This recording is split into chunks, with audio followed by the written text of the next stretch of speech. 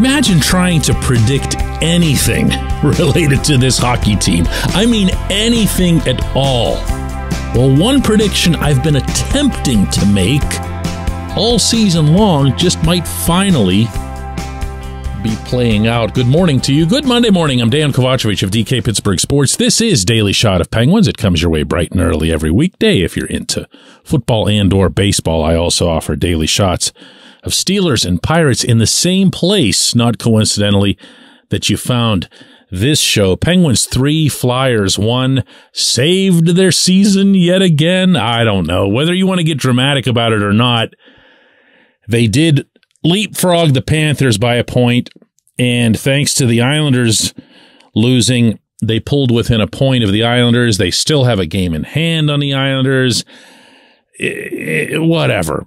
They need to win a bunch of these games coming up. I'm convinced in order to get in. And from there, I got nothing. They're in Newark tomorrow night. If they lost to the Devils by seven goals, you wouldn't be surprised. If they beat them by seven goals, you'd only be a little bit surprised. Thursday night, the Wild are coming in. They've had a really nice second half. Saturday, it's the Red Wings again. Same place, too, up in Detroit. You see what I'm saying? You see what I'm saying? So, what you're looking for more than anything else is a sign of legitimate stability or a sign of a potential surge, even better. And that's where Bryan Rust comes in for me. How many times, for those of you who listen to this regularly, have you heard me say, yeah, he's slumping, but dot, dot, dot, once he gets hot, well, two games isn't hot. Two games of anything isn't hot. But two games of three goals and an assist in which Rust has appeared to be genuinely engaged and aggressive in the attacking zone. That does mean something. Rust's goal last night, for example, was a perfect, perfect uh, exhibit A of what you want to see from him. He started to play deep in the defensive zone. He has to be the defensive conscious of a line that has Sidney Crosby and Jake Guentzel on it. With all due respect to what Sid does over all 200 feet, you don't want him doing that stuff uh, way back in that zone, and you definitely don't want Jake handling that business. So Rust starts to play and then bursts in a setting where I'm not going to have an easy time describing the entire ice surface for you here in audio form, but it wasn't one of those uh, diagrams on the rink where you'd think to yourself, oh, yeah, here's something. But he kept going. He kept churning. He got through the Philadelphia traffic. And by the time he got to the Flyers blue line, he had kind of a beat. And Sid being Sid, uh, just as happened the day before in the loss to the Bruins, uh, Sid made magic happen uh, on his backhand, getting the puck through to Rust. Rust goes in on whoever Philadelphia's goaltender is this week and beats him pretty cleanly. Nice little move, uh, chin up, authoritative finish. And then instead of celebrating as if it was the, you know, the first goal that he'd scored in a hundred years, which is how he celebrated a lot of his goals this year, he just kind of skated over into the corner. He waited for Sid to come over and Sid's like, freaking out. Sid's just, yeah, Rusty, whatever. Okay. And, and Rust was just like, it's nothing. This is what I'm supposed to be doing. And that's what you want to see from him. No, no, no. That's what you need to see from him for so many reasons.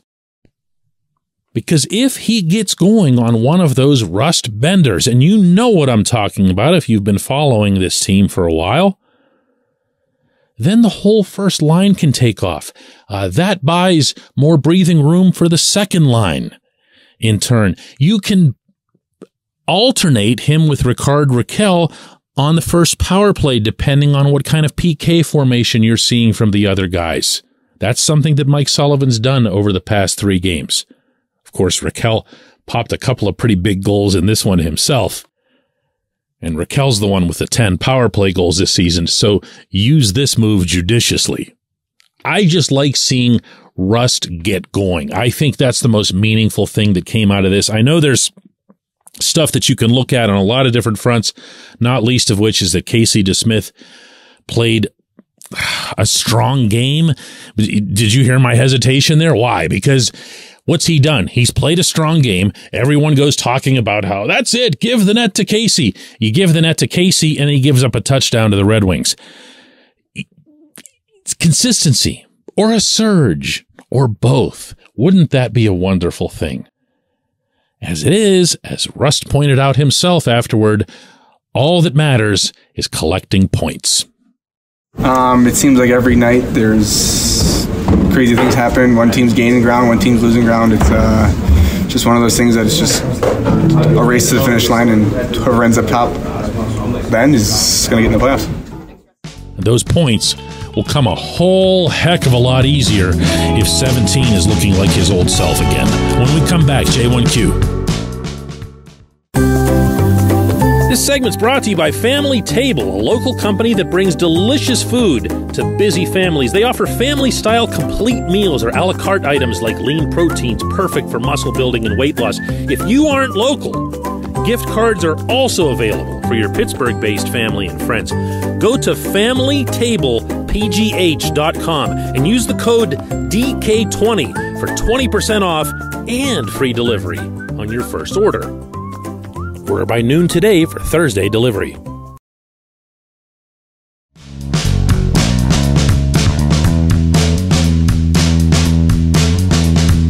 Today's J1Q comes from Dan, who says, Oh boy, just when I thought I was out, they pulled me back in. I got a lot of these types of responses from people over the weekend. It's not you. Okay? It's just not. And when you hear or read my commentary, and it appears to run hot or cold, it's not me either. It's the subject matter. This is who they are. This is the effect they have on people, including, I might add, themselves. I'm completely convinced of that. This team, when it feels it's got a challenge in front of it, when it feels like it's pushed, does pretty well. It does pretty well. Now, there have been a couple of exceptions to that this season, but not many. Not many. Uh, you can look at a couple of the blowout losses. The most recent one in Madison Square Garden in particular, maybe the one in Los Angeles, although I covered both of those. And, and the one in LA, I just, I thought it was one that just got away from them. They came out ready. It just didn't matter.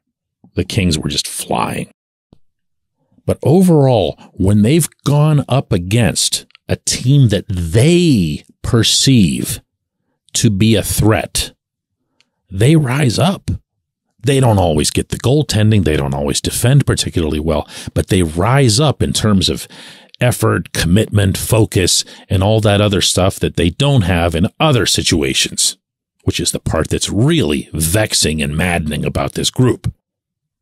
And that's why there's a part of me that likes their chances against the Devils tomorrow night, who've really given them fits with the speed and their finishing ability that they've got. And against the Wild, but for different reasons. I think they're just a good matchup, uh, meaning the Wild is for the Penguins, and they've been that way for a long time. They respect the Penguins a little bit too much and they give them too much space. That's just a Western Conference thing. But then comes Saturday and you have no idea what you'll get. You have no idea what they're going to do in Detroit from the drop of the puck. So who's the who's the dummy in this equation? Is it you? Is it me? Is it them? I don't know. But what all I'm saying here is I wouldn't take any of this personally as to whether or not they pulled you in or tossed you out or I've had it with this team to I love this team with all my heart because that now changes over a 24 hour span, just like it did over this weekend. That loss to Boston, which I haven't even talked about today, was one of those that you're like, what am I even doing here? What is the point of this? What is the point of my buying a ticket for this game or even sitting at home watching on TV? I could have done something else. If all you're going to do is go out there and score a goal and then give one up a minute later and then score a goal and then give one up a minute later, and then once you get to the last two minutes, make sure that you blow the point entirely and give up the winning goal in the final two minutes. We've seen it a hundred times, it feels like this year. And we've seen it with Tristan Jarry in net, it feels like 150 times, in addition to his getting apparently hurt yet again. But then the next day comes, and everyone's, oh yeah, Casey DeSmith is the greatest. He's our guy. Ride him. you know, and, and we're going to look ridiculous by tomorrow night. It's not you, my man. It's not. I appreciate you sending me that, and I appreciate everybody who listens to Daily Shot of Penguins. Let's do another one tomorrow when we could be talking about something else entirely.